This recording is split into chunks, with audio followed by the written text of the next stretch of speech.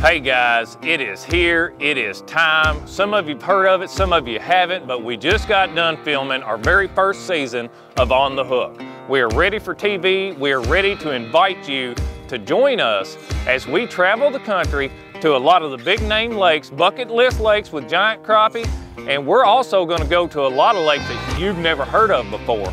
We're gonna go out there and take all of the secrets out of crappie fishing all together and we're gonna show you just exactly how to get those fish on the hook.